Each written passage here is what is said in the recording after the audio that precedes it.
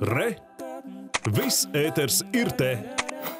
14. saimā jāturpina iepriekšējā parlamenta iesāktais darbs pie valsts aizsardzības dienesta ieviešanas.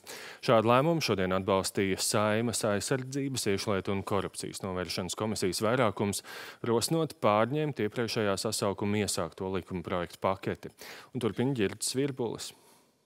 Nu, Iepriekšējās saimnes laikā izstrādātais un steidzamības kārtā virzītais, bet tā arī nepabeigtais likumprojekts paredz, valsts aizsardzības dienestā tiktu iesaukti vīrieši vecumā no 18 līdz 27 gadiem.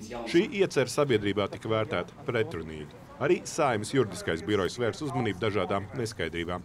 Tādēļ jaunā saima pie šī likumprojekta darba turpinās bez steigas. Izaicinājums bija iepriekšējā saimā, kad tas bija steidzamības kārtā. Šobrīd tas uh, virzīsies uh, parastajā kārtībā, trīs lasījumos. Tur ir daudz, tur ir infra, infrastruktūras jautājumi, tur ir budžeta jautājums, tur ir uh, instruktoru jautājums. To jautājumu ir ļoti daudz, kas ir, protams, jāpārunā, kā es teicu, arī ar Nacionālajiem bruņotajiem spēkiem un ar aizsardzības ministriju, kā viņi redz, kā viņi šos jautājumus varēs atrisināt.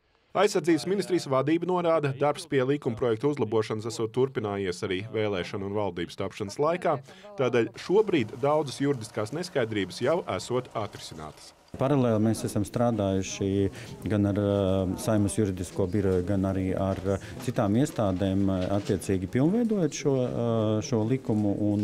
Tās daudzas lietas esam faktiski precizējuši, kas bija strīdīgas. Gala lēmumu par iesāktā likumprojekta turpināšanu ceturtdien pieņems Saima. Gan Bergmans, gan Garisons pauda cerību, ka tas būs atbalstošs un likumprojektu izdosies pabeigt līdz nākamā gada 1. aprīlim, lai jau nākamgad valsts aizsardzības dienests varētu sākt darboties.